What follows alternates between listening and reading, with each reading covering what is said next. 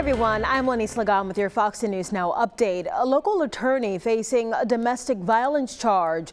Shane Allen Taylor, who has an office in Mobile, was booked into the Baldwin County Jail last night. The arrest happened several days after a paralegal filed an unrelated civil complaint against Taylor. In that complaint, the plaintiff alleges that Taylor neglectfully, recklessly, and or intentionally caused harmful, unwanted, offensive, and sexually charged physical contact. The civil complaint brings up several alleged incidents, such as the grabbing of the plaintiff's body and allegations the paralegal was told she had to perform certain sexual acts on the attorney to keep her job. Taylor's arrest involves a different woman. At last check, he is still in jail. Fox News reached out to Taylor's attorney about the arrest and civil complaint, but so far we have not gotten a response. A woman in Fort Walton Beach arrested after deputies found her in a stolen SUV with nearly $9,000 worth of stolen lottery tickets. Investigators say Ursula Evans Lowe was at the CEFCO on Martin Luther King Boulevard when they got there. Uh, she was sitting in that stolen vehicle with two flat tires and the hazard lights on. When she went to open the door, deputies say her purse fell out and so did those lottery tickets. All right, a big drug bust in Baldwin County. Look at what deputies found during a traffic stop. That's 15 pounds of high-grade marijuana, and deputies say Stanley Terrain here was headed to North Carolina from Louisiana when they pulled him over Wednesday on I-65. So he's now being held without bond and charged with drug trafficking.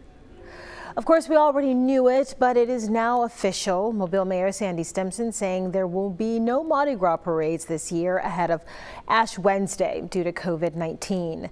The mayor making that announcement during a conference call with city leaders and Port City Mardi Gras societies. But even though the good times won't technically be rolling, the city is trying to drum up suggestions for safe alternatives to celebrate this year's Mardi Gras. The goal is to encourage people to support businesses downtown. COVID's here. They didn't cancel Thanksgiving. We got creative. They didn't cancel Christmas. We got creative.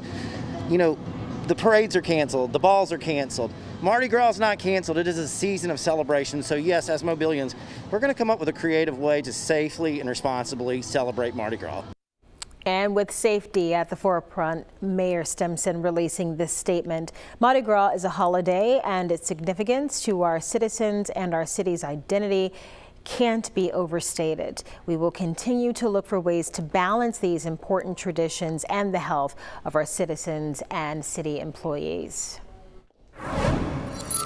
All right, windy out there today. We'll see that continuing tonight, and then things should start to improve for the weekend. We had wind gusts up near 30 miles an hour at times today because of high pressure building in over Texas and a low pressure area over the Great Lakes. That's accelerating a westerly flow of wind. No rain around. We had a couple of brief showers in Pensacola last night. Not a lot of showers over the western side of the area at all, and now totally clear on our futurecast modeling. We go through the day on Saturday, and we'll see more of the same. The only change will be a few scattered upper clouds that may glide through the area during the middle of the day on Sunday. Tomorrow morning near freezing early, pretty cold out there, and we go over to Pensacola at 40 degrees, and we get into the afternoon, getting into the lower to middle 50s on our Saturday. Our forecast starting out chilly, if not cold, with a wind chill in the upper 20s, and then after that, we start to see some improvements tomorrow afternoon with those 50s building in.